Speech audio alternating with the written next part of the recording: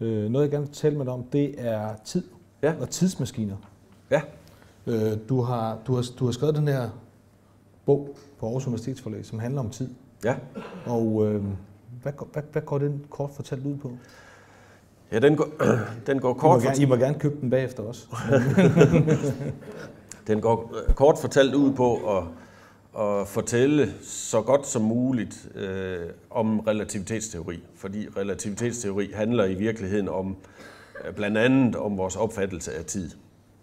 Så det er et forsøg på at, at fortælle øh, noget af det, vi også øh, snakker om her.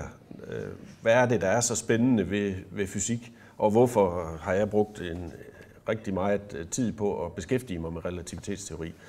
En af de ting, jeg, jeg viser, det er, at et ur i bevægelse går langsomt. Øh, og det er jo ikke noget, man, man sådan bruger i sin hverdag.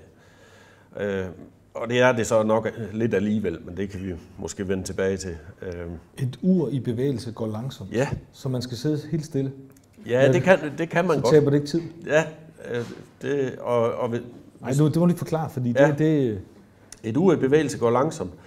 Øh, I virkeligheden, øh, jeg, jeg skal lige have fat i en, en af mine rekvisitter her.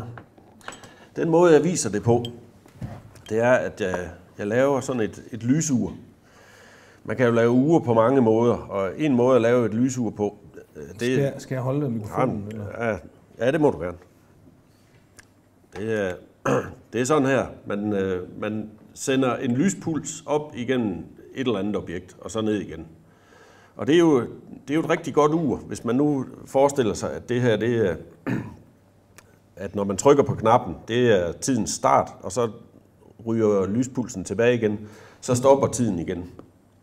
Det er jo et meget velfungerende ur, fordi der er ikke nogen øh, smøringsmekanismer, der går galt, eller et batteri, der går fladt, eller sådan noget. Så det siger tik-tak, tik-tak, hvis man også har et spejl nede for neden. Det er jo baseret på, at lys bevæger sig altid med samme hastighed, og det ved vi, at det gør. Så lys bevæger sig altid med samme hastighed. Men hvad så, hvis vi tager lysuret og transporterer det? Ja, så skal lyset pludselig øh, tilbagelægge en skrå rute, nemlig fra bund til top og ned igen. Jeg viser det lige. Så øh, op og ned igen. Og den tur, den skrå her, den er lidt længere end bare op og ned. Og skal man længere med samme fart, og lys har altid samme fart, så tager det længere tid. Så det har jeg allerede vist nu. Et ur i bevægelse går langsomt. Og det gælder også for mit armbåndsur. For det gælder et, et hvert ur. Øh, jeg kan tage to uger og synkronisere. Det kunne være mine hjerteslag og det der lysur. Det er ikke så nemt, men det kunne man godt. Øh, og, og så kunne man vise, at øh, ud fra det der, at så går mine hjerteslag også langsomt. Så det er jo det er i virkeligheden et- fundament til Sundhedsstyrelsens anbefalinger, ikke også? at øh, motionen øh, forlænger livet. Det viser relativitetsteorien også. Øh, et ur i bevægelse går langsomt, så når jeg bevæger mig, så går tiden lidt langsommere, og, og- og derfor vinder jeg lidt. Så når jeg tager flyveren over Atlanten, så vinder jeg 10 milliarddele sekunder. Det er nok ikke turen værd, men, men det, det gør man. Noget som, noget som, hvis vi bliver i sådan en Disney-verden, så er det den her tanke om, at man kan rejse frem og tilbage i tid. Mm. Øh, Kan man det? Altså kan man rejse frem i tid? Ja, ja, det kan man. Man kan rejse frem i tiden netop med den her metode, et ur i bevægelse går langsomt. Fordi hvis, hvis vi nu forestiller os, nu glemmer vi så noget med energibehov og, og så videre, at man kunne lave en rumraket, som kunne bringe en astronaut op, øh, accelerere, altså hele tiden øge hastigheden op mod lysets hastighed, med en acceleration, der svarer til tyngdeaccelerationen her, hvor vi sidder. Øh, det, det ville jo så blive en behagelig tur. Og så kunne man lade den astronaut rejse ud til den anden ende af Mælkevejen og tilbage igen. Det ville tage astronautens egne hjerteslag 23 år, kan man regne ud. Og i den tid, der ville der gå 150.000 år på jorden. Og så ville den pågældende astronaut jo have brugt 23 år på at rejse 150.000 år ind i jordens fremtid. Så er der ikke nogen tilbage, man kender og så videre. Men, Lidt, lidt kedeligt at komme tilbage igen. Ja.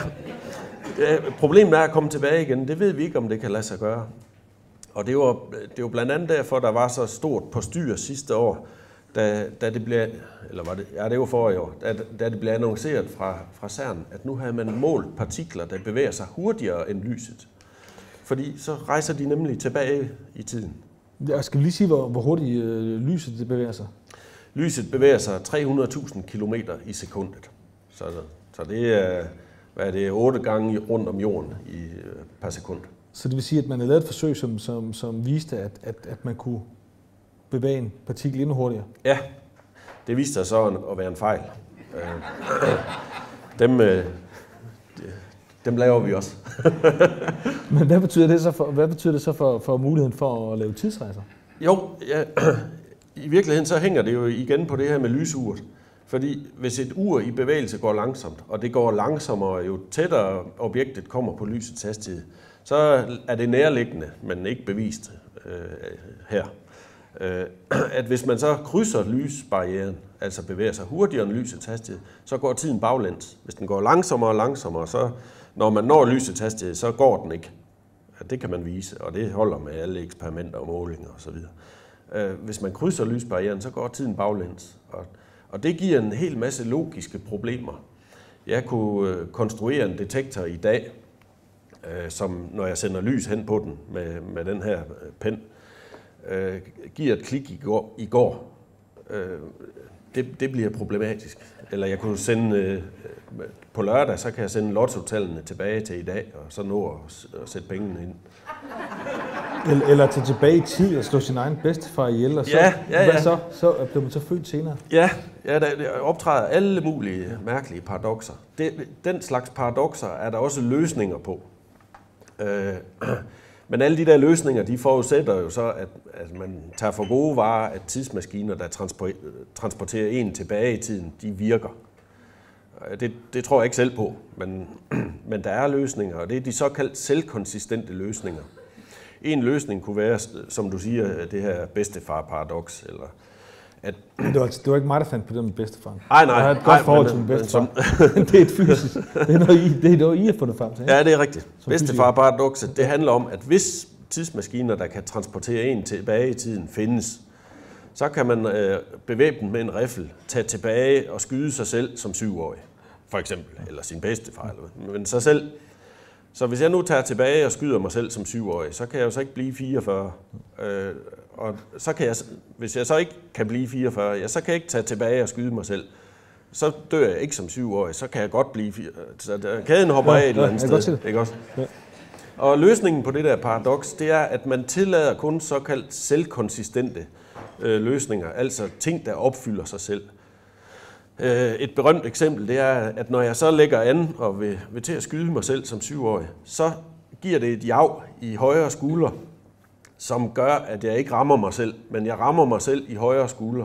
Og det sår, jeg får som syvårig, er det, der gør, at jeg som 44 netop ikke, ikke kan ramme mig selv. Så hopper kæden ikke af. Det, det der, der, der er problemet med det, det er, det binder jo den frie vilje. Fordi så, hvis jeg så kan rejse tilbage i tiden, så har jeg ikke øh, rådet ret. Så kan jeg ikke gøre, hvad jeg vil. Jeg er bundet af, hvordan så det ud der, hvor jeg kom fra. Og det, det kan man måske ikke lide. Ulrik, tiden ja. er gået. Ja. Tak for at snakke om tiden. Ja. Det var rigtig spændende. Tak for det. Skal vi give Ulrik en hånd?